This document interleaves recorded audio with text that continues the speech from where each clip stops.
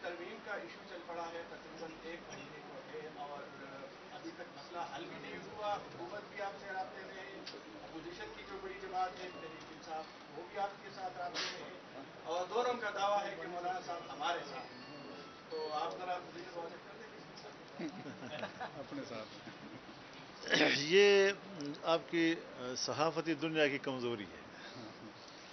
آپ یرغمال ہو جاتے ہیں، ہمیشہ سیاست میں دو پارٹیوں کے بیچ میں۔ تھوڑا آپ ذرا ان دو دو پارٹیوں اور دو طرف کے یرغمال سے باہر نکلیں اور ذرا سوچیں کہ پاکستان میں کوئی اور بھی ہے۔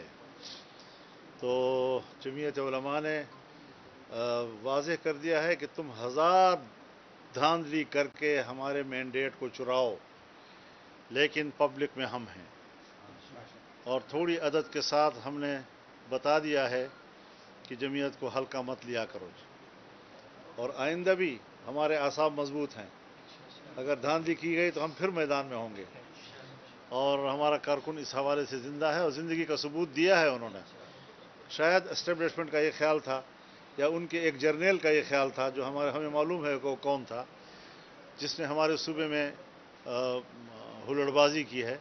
بلوچستان میں ہلڑ بازی کی ہے، تو ان کو معلوم ہونا چاہیے کہ دو ہزار اٹھارہ میں جس طرح ہمارے حوصلے بلند تھے، دو ہزار چوبیس میں بھی ہمارے حوصلے کم نہیں ہوئے، اور ہم نے چاروں صوبوں میں ملین مارچ کر کے بتا دیا ہے کہ کارکن ہمارا زندہ ہے اور وہ اپنے ساتھ ناو انصافی کو کسی قیمت میں برداشت کرنے کو تیار نہیں ہے۔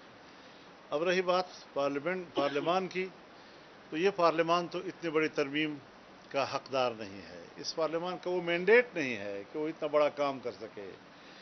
ہم سمجھتے ہیں کہ الیکشن ہو حقیقی معنوں میں عوام کے صحیح نمائندے میدان میں آئے پارلیمنٹ پر عوام کا اعتماد ہونا چاہیے۔ اس جعلی قسم کے پارلیمنٹ سے اتنی بڑی آئینی ترمیم کرانا یہ بذات خود ایک ناانصافی ہے۔ تاہم ہم نے ایک بات کی ہے کہ ہم اگر پارلیمانی کردار بھی جاری رکھیں گے تو ہم نے ضرور پارلیمنٹ میں کچھ تجاویز دی ہیں۔ اور ہم نے ان سے یہ کہا کہ آپ یہ کیا شخصیات کے بیچ میں پھنس گئے ہیں۔ ہمیں یہ جج قبول ہے اور ہمیں یہ جج قبول نہیں ہے اور ججوں کو اس لیے مدت ملازمت میں اضافہ دینا چاہیے اور اس لیے ہمارے ان کی تعداد میں اضافہ کرنا چاہیے۔ یہ تو پھر سیاسی مقاصد کے لیے آپ اتنی بڑی ترمیم کی طرف جا رہے ہیں۔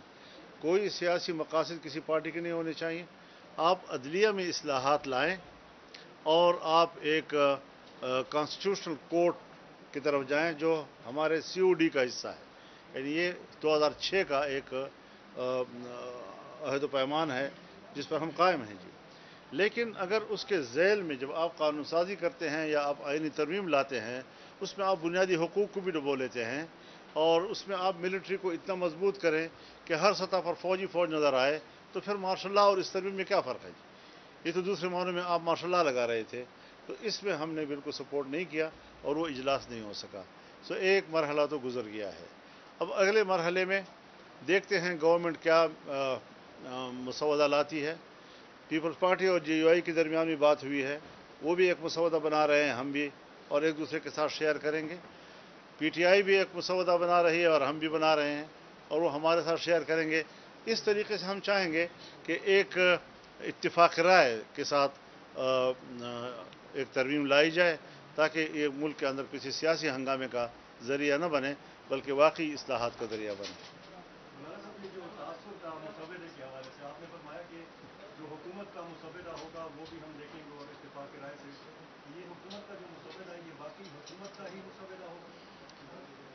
کیا مطلب آپ کا مسودہ حکومت کا ہی ہوگا تو ظاہر ہے ہم تو حکومت کا ہی ہمیں تو حکومت کے ہاتھ سے ملتا ہے تو ہم حکومت کا ہی کریں۔ اگر آپ کو کوئی اور معلومات ہو تو بتا دیں۔ بھائی ہمارے پاس تو حکومت کی طرف سے آتا ہے۔ تو ہم تو حکومت کا ہی کہاں سمجھیں گے؟ بالکل بالکل مسودات ہوئے اور اسی کو دیکھ کر تو ہم نے مسترد کر دیا کہ یہ قابل قبول نہیں ہے۔ جی حضرت، جو بنیادی جو بنیادی حقوق آپ دیتے ہیں قوم کو، عام آدمی کو، اس میں کچھ استثنائیات ہیں جس میں ملٹری کے حوالے سے ہیں، بہت مختصر سے۔ تو اس چھوٹے سے استثناء کو وسعت دی گئی اور جو بنیادی حقوق کا دائرہ ہے، اسے تنگ کر دیا گیا۔ اور اس کے آگے کورٹ کے نظام میں ایسی تبدیلیاں لانا کہ کورٹ کے نظام کو خراب کرنے کا باعث تو بن رہی تھی، لیکن اس میں اصلاح کا سبب نہیں بن رہا تھا۔ جی تو بہت سی چیزیں ایسی ہیں کہ جس میں ہم سمجھتے ہیں کہ پارلیمان جو ہے وہ خود مختار رہے، اس کی خود مختاری پر اور اس کی بالادستی اور سپرمیسی پر کوئی کمپرومائز نہیں ہونا چاہیے۔ اور ترمیم بھی لائیں تو ایسی ترمیم کہ جس سے پبلک کو ریلیف ملے، جمہوریت مستحکم ہو اور ہر پارٹی کو اپنا منشور جو ہے وہ پارلیمنٹ میں لانے کی صلاحیت ہو۔ لیکن یہ ہے کہ اب پارلیمنٹ ہمیں اللہ نے ایسی نصیب کی ہے کہ ہم اس کو عوام کے مینڈیٹ نہیں اچھا، سمجھتے۔ پارلیمنٹ بلوچستان اور خیبر کے جو ایشو تھے جو امامان کا مسئلہ ہے جو صوبے کے حقوق کے جو ہیں اس میں وفاقی اور صوبائی حکومتیں سنجیدہ ہے اور جمعیت علماء اسلام کے کیا تھا آپ نے بہت اچھا سوال کیا اور میں آپ کا شکر گزار ہوں۔ ہمیں اس طرف ضرور متوجہ ہونا چاہیے کہ ہمارا صوبہ اس وقت آگ میں جل رہا ہے۔ یعنی اس وقت تک میرے پاس جنوبی وزیرستان چاہے وزیر قبیلے سے تعلق ہو، چاہے محسود قبیلے سے تعلق ہو، ان کے وفود میرے پاس آئے ہیں۔ شمالی وزیرستان کے، عثمانزی قبیلے کے لوگ میرے پاس آئے ہیں۔ کرم ایجنسی کے لوگ میرے پاس آئے ہیں۔ اب بھی وہاں پر جنگ شروع ہے۔ لوگ ایک دوسرے کو قتل کر رہے ہیں اور ریاست خاموش ہے۔ کرم یہ ہمارے خیبر ایجنسی کے کوکی کھیل قبیلے کے لوگ آئے ہیں ہمارے پاس۔ افریدی لوگ تو کوئی ایسا ایجنسی نہیں ہے کہ جن کے وفود کم از کم میرے پاس براہ راست نہ آئے ہوں۔ اور یہ سب تشویش کا اظہار کر رہے ہیں۔ کسی کو گھروں کے معاوضے نہیں مل رہے۔ سو غریب لوگ ہیں، گھر تباہ ہو گئے ان کے، دوبارہ بنانے کے قابل نہیں ہیں۔ کچھ لوگ ہیں کہ اتنے طویل اپنے ملک میں ہجرت کا دور مکمل کر کے بھی ابھی گھروں کو واپس نہیں جا سکتے اور فوج ان کو واپس نہیں جانے دے رہی۔ تو اس ساری صورتحال میں ہمارے قبائل جو ہیں میرے خیال میں انضمام سے پہلے کے حالت میں اچھے تھے۔ انضمام کے بعد میں جو ہے وہ زیادہ پریشان ہیں جی اور زیادہ قسم کی مشکلات سے گزر رہے ہیں۔ اب نہ فاٹا رہا، نہ سیٹل رہا۔ اس بیچ میں کیا چیز ہے؟ سمجھ میں نہیں آ رہی۔ اس وقت فاٹا کا عوام مظلوم ہے، مظلوم۔ اور یہی صورتحال حضرت بلوچستان کی بھی ہے۔ ہمارے ہاں بھی لاپتہ لوگ ہیں، بے تحاشا لوگ ہیں۔